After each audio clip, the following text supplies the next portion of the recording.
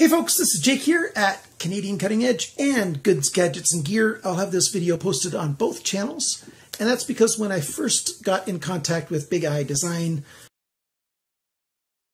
uh, over a year ago, I only had the channel Canadian Cutting Edge, and I told them I'd put their videos on that channel. And so this video is also on Canadian Cutting Edge, even though it's not really about knives or anything, or EDC type stuff.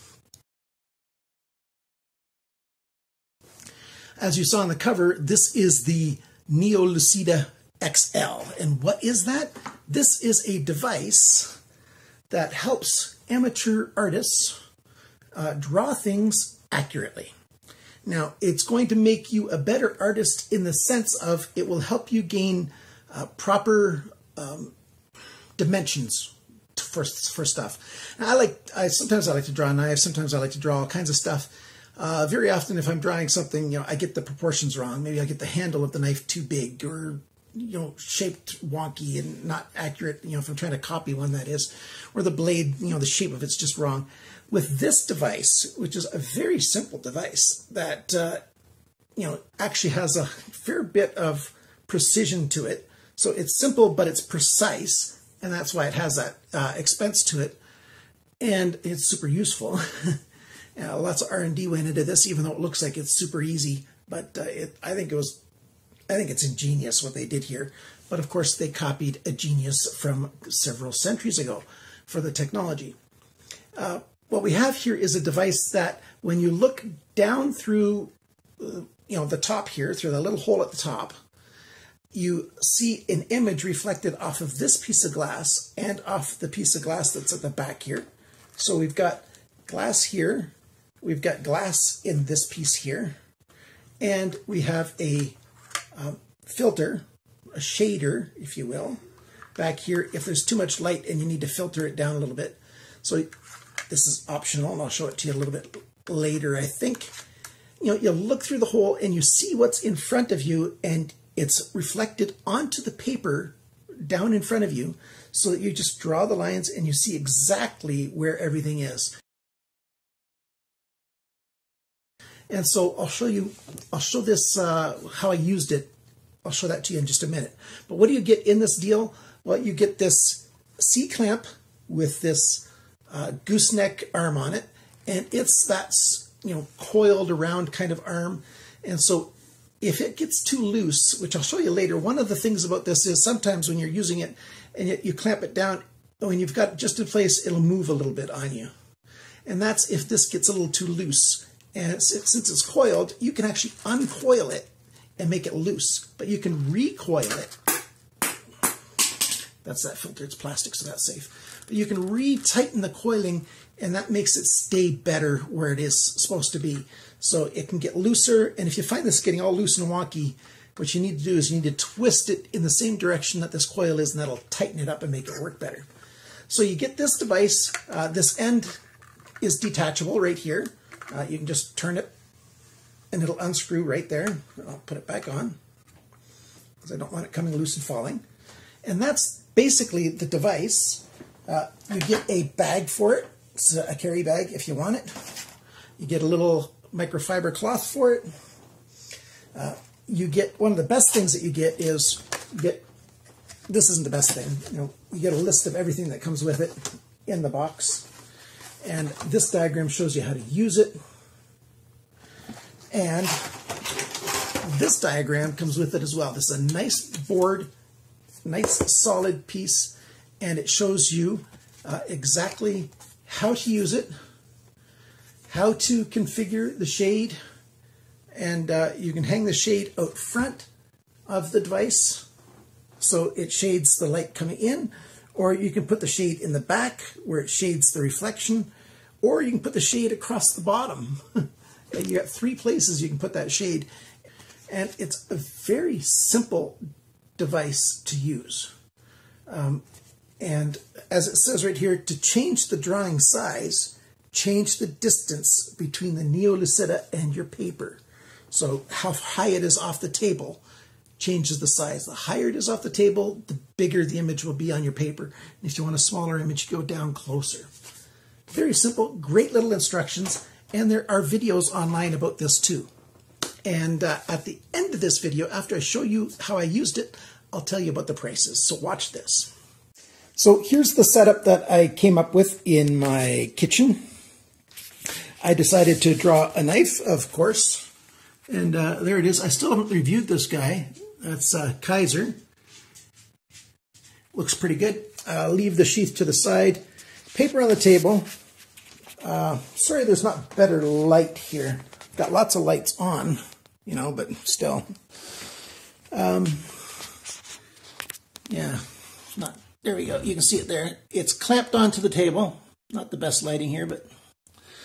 And you put your paper on the table and you set it up over the object that you're looking at. And there's the object. And like this. So you look down through here, straight down through this, and you will see the knife on the paper. Just a little cloudy image of it with crisp edges though, but it's, it's kind of faint is what I should say, not cloudy, faint. And it's on the paper and then you just trace it. It does help. I took this little light and I put this light uh, on the object from the front. That helped a fair bit. And then you just sort of trace. This will not turn you into a perfect artist, not by any chance whatsoever you still have to learn about shading. You still have to learn about how hard you're going to push with your pencil, how light, you know, all kinds of stuff. You still need a steady hand. There's still all kinds of things that you need. But, you know, as you see here, these instructions that come with it show very clearly what you need to do. It's, you know, a rather straightforward system. And uh, there's also this filter, and that may or may not come in handy toy with that to see if you get a better look at it or not. And then there you go. So here's an image of what I drew. Let's put the light down this way. Yeah, that light's not perfect. It's got some dark spots. But that's the Kizer right there that I drew from right there. Not bad. Not bad for a beginner, if you ask me. And I always had a terrible time getting uh, everything the right size, the dimensions. You know, if I was going to try, try to draw a knife or copy one, you know, I'd have the handle way too big or the blade way too big or something. And this keeps everything in proper proportion. And then you still need your own artistic skill to finish it off. But you will be able to get everything the right size and in the right spot if you use this Neo Lucida. And uh, I think it's a rather good system. There's one thing that I found challenging. And let me sit down here to try to explain it. And that is getting this in the exact right position because it tends to want to, you, you move it and you let go and it moves a little bit again. So yeah, you put it somewhere and it moves a little bit. So it takes a fair bit of finessing to get everything just right. So there you go. That's the Neo Lucida XL. I think it works very well for what it is, but it isn't a be all end all, you know, turn you into a perfect artist kind of tool. It's a tool that will help you get everything in proper place, proper location compared to what you're actually seeing. And it puts an image down on the paper for you to trace. The rest is up to you. Okay, guys, thanks for watching that. How much does this device cost? Right now, it's 75 US dollars. That's full price. It's been around for about a year. Uh, it's getting some good reviews. It's getting a good review from me. Uh, one thing that I need to tell you about it is that you have to stand in order to make this work, or you'd have to get a really low table. Uh, and that's like for me with my chronic pain in my knees. Uh, I actually have sore back as well. You know, arthritis is just nasty. It just starts going everywhere, doesn't it? Uh, but you basically have to get up over it to use it and uh, that's a little bit tricky for me personally. So think about that before you go and buy one. And the only other thing is is that gooseneck thing. If you have it loose, whenever you put it somewhere, it's going to sag a little bit and, and move, and it's going to be hard to position it. So you can tighten that up manually. So there's all kinds of little tricks to make this thing work better. Uh, in case something's a little bit wonky for you, but you can always write me an email and ask me if you've got a question. So that's the video, $75. What if you don't have $75? They've got the version that came before this XL version, and it's on for $39 right now. almost half the price. It's a whole lot smaller. I'll show you a picture of it right now. So as you can see, compared to the XL, it's a whole lot smaller, which means you have to have your head in exactly the right spot. It just takes a little more precision to align everything. But, you know, a person with patience can do that, no problem. And so you can carry it around easier too because it's smaller. Uh, and it's the other choice. So 75 for the XL version, $39 for the small version. There is shipping. There's a US website for it and an international website for it. But all you have to do is go to one address. And if you're not in the US, it'll have a little pop up on the screen asking you if you want to go to the international page, the .co page, instead of the .com page. And that'll take you to the international. And then it'll figure out all the shipping and everything for you right there. So this is the Neo Lucida. I recommend it.